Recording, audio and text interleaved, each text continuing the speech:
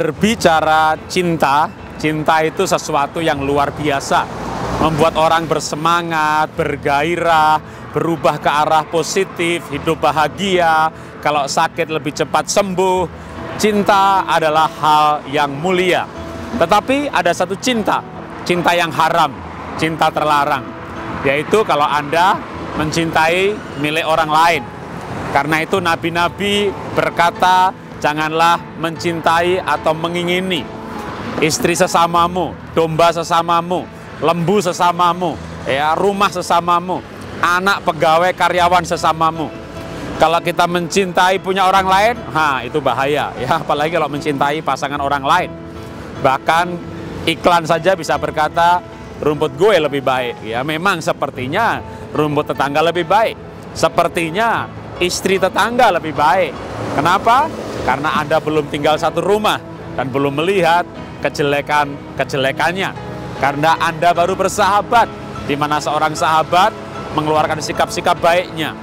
Percaya bahwa mencintai apa yang dimiliki, entah itu pekerjaan, pasangan, anak-anak, hobi, talenta, bahkan mencintai atau bersyukur dengan diri sendiri.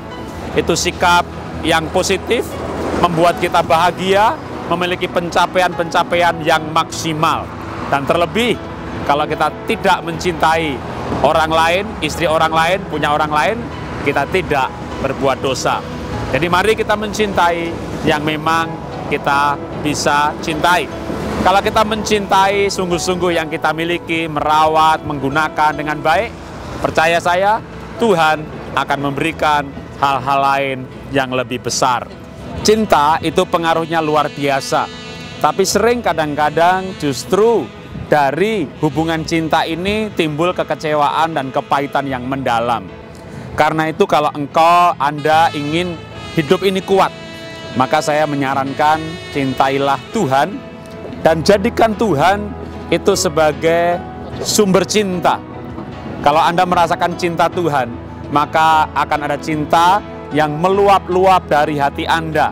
Sehingga sekalipun orang-orang di sekitar Anda melukai, mengecewakan, dan menyakitkan hati Anda, tapi Anda kuat di dalam hidup ini karena Anda merasakan cinta yang luar biasa yang dari Tuhan. Cinta sejati diuji oleh waktu. Ketika waktu berjalan, maka sering ada yang mengganggu cinta. Kalau cinta ini berhubungan dengan cinta antar dua pribadi, maka ada kisah pihak ketiga, kisah selingkuh, pertengkaran, perceraian. Kenapa? Karena cintanya tidak teruji oleh waktu. Untuk bisa melewati ujian waktu, maka cinta tidak hanya soal perasaan senang, mengagumi, tapi juga berbicara mengenai komitmen. Keputusan untuk terus-menerus hanya mencintai satu pribadi. Itu kalau berbicara mengenai pasangan. Berbicara keluarga, maka komitmen terus-menerus untuk mencintai anggota keluarga yang lain apa pun keadaannya dan apa pun yang dilakukannya. Ada kesalahan, ada pertengkaran, ada pertikaian, ada amarah, tapi tetap itu dipersatukan dengan yang namanya komitmen. Melalui komitmen, maka cinta akan bisa diuji oleh ujian waktu.